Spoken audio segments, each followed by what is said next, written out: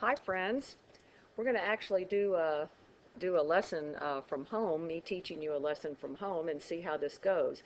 So hopefully you'll get the idea of what it is we're talking about as you're filling out the notes, and then when you come to class, we'll be able to ask questions and also do some more activities that are more fun than just note-taking, hopefully. I want to review what an integer is. This came from our 1-4 notes. It's important that you understand this word because you'll see it a lot in word problems and SAT questions. So let's review. An integer is a counting number. Whoa, get my pen going here. It's a counting number.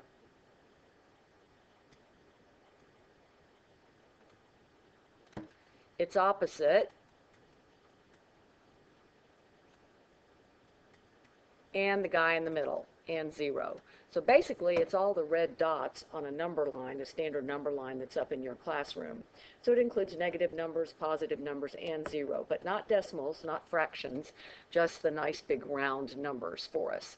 So in 1.5 and 1.6, we're going to talk about adding and subtracting positive and negative integers. And I kind of just call this combining them. I don't care really whether you're adding them or subtracting them. Basically, we're just trying to get them together.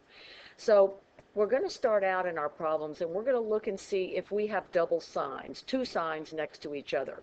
If we do, we're not going to start the problem. We're not going to do anything in the problem until we've con condensed those double signs into one sign. How do we do that? We look and see if the signs are the same we use the sum sign, which is a plus sign. We drop the two signs and make it just one sign. If the signs are different, we use the different sign, which is the subtraction sign. So we'll do a little bit of this uh, using a number line, and we'll do some without a number line.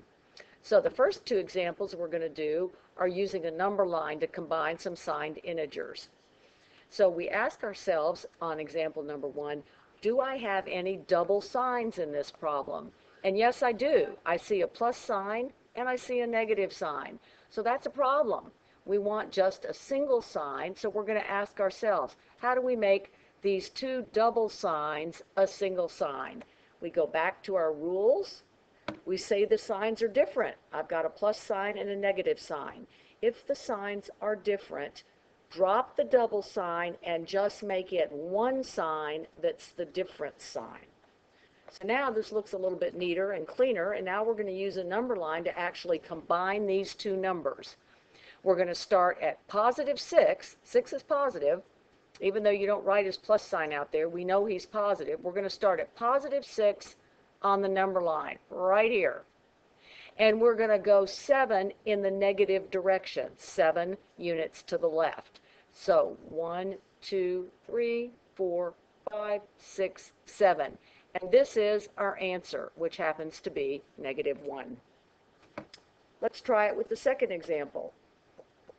I do see a double sign. There's two negatives. I've got to rewrite this problem with a single sign before I can use the number line. I see the signs are the same kind of looks like a little face with two eyeballs. The signs are the same. If the signs are the same, use the sum sign, the positive sign. So we're going to rewrite it, negative 1 plus 9. Now we're ready to go to our number line. We're going to start at negative 1 on the number line, right here, negative 1, and we're going to go 9 in the positive direction, or to the right. 1, 2, 3, 4, 5, six, seven, eight, nine. And after we've done nine hops to the right, we're on positive eight. So our answer to ex exercise number one was negative one, where we ended up, and the answer to number two was positive eight. Let's do one more. Don't have any double signs, so we don't have to go through that step. We're going to start at negative 11 on the number line, which I believe is right here. We're going to go six spots to the right. One, two, three, four, five, six. And now we're here. But now we need to go four spaces back to the left. One, two, three, four.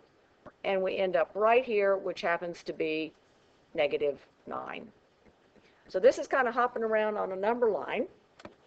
And we can certainly do that, but it's not always convenient to draw a number line. So we want to, uh, we want to practice some problems without using the number line also.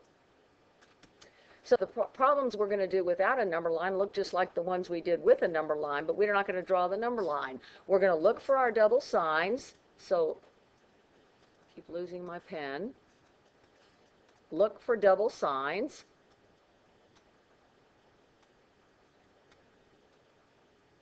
Do I have any? Yes, I do. I have a positive and a negative. So I'm they, the signs are different. I'm going to use the different sign.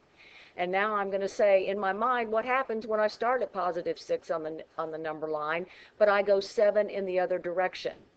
What I'm actually doing is saying I'm taking 7, subtracting 6, getting 1, and the 1 is negative because 7 is bigger than 6. On the second example, I see a double sign. Here they are. They're the same, so I'm going to replace it with a sum sign. Now I'm starting in my mind at negative 14 on the number line. I'm coming back 9, but I'm not quite to 0 yet. I'm still in the negative direction.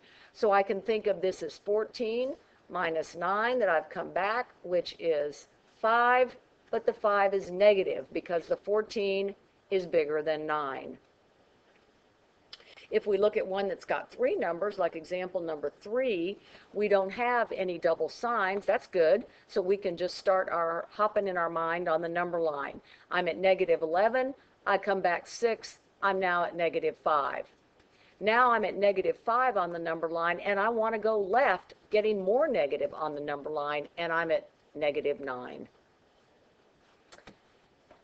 And on number four, I do have some double signs. There they are, right there. The signs are different. So tell me which sign I'm going to use. Oh yeah, you're not in class. I have to do it myself. The different sign. And now I'm ready to start the hopping in my mind. I'm starting at positive 27. I take away 16. That leaves positive 11. I want to go positive in the positive direction, 12 more, and that leaves 23. Now, I've got a couple problems. I want you to pause the video and go ahead and do those yourself. And when you come back, we're going to do a couple evaluates, which means we plug it in, plug it in. Remember, you're going to write these neatly. D is negative 3. So when you come down here to plug it in, this negative sign comes down. The D, we're going to put in parentheses and plug in the negative 3 for D. Now we're going to ask ourselves, do we have any double signs? Sure enough, we do. There's a pair right there. I made a little happy face. The signs are the same. We're going to use the sum sign. Now we ask ourselves, where are we on the number line? We're at negative 15. We come back to the right a small amount. 15 minus 3 is 12, but it's negative 12. One more, plug it in, plus minus 7d. Take care of your double sign before you plug it in, plug it in. My signs are different, so I'm going to use the different sign. Remember that 7d means 7 multiplied times d.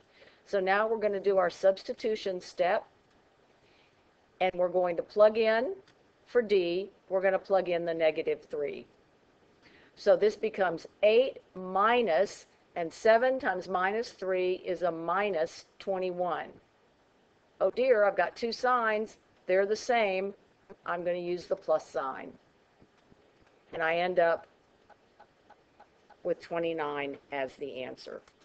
I want to go through just a couple more examples with you, and then you'll be able to do a little bit of work in your book. Let's look at a real life example. You've got a checking account, your balance, that means what you start with. Balance is a good thing, if it's as long as it's positive. You start with $95.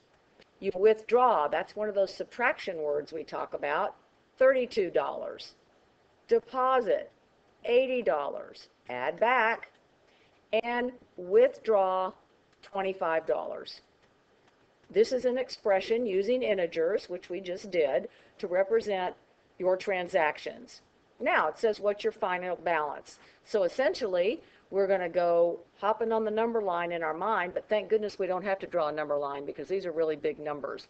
So the first thing I'm going to do, because we have addition and subtraction, and in the order of operations, we go, if that's all we have, we go back to the beginning of the problem.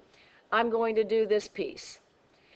I'm at positive 95 on the number line. I go back to the left 32 steps. So essentially, I am at positive 63. And now I'm going to keep on, keep on keeping on. Now I'm at positive 63 on the number line, and I go positive 80 more. Now I'm at positive 143. But I come back a little bit to the left, so I subtract, and I get 118. So my final balance should be $118, which isn't too bad. I've made some money. Last thing I want to talk to you about, um, I'll let you do the football, this number 10 on your own, and we'll talk about it in class. It's a similar, uh, a similar problem to the deposit withdrawal money. But the last thing I want to talk to you about pretty quick was look at number 9, 10, and 11. And I want you to just look at these and tell me what the sign of your answer is going to be without actually working it. So I want you to think about that for a minute. If we look at number 9, we've got big negative number here and another negative number over here.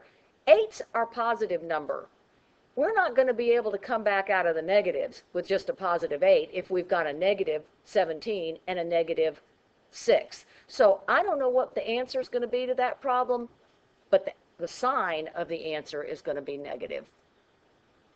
On number 10, well, we've got some positive numbers here, but we got negative numbers here and negative numbers here, and those look pretty much bigger than our 14. So again, I think the sign of my answer is going to be negative. And for number 11, it's pretty easy. I got lots of positive numbers going on, not too many negatives, so I'm going to have a positive answer. One last little tidbit, and we're going to do this in class, is the sum of any number and its opposite. So for instance, 3 and negative 3, negative 2 and positive 2, 5 and negative 5. If you add a number and its opposite together, what do you get? Zero. Anytime you add a number and its opposite, you get zero. So here are some examples that we just created.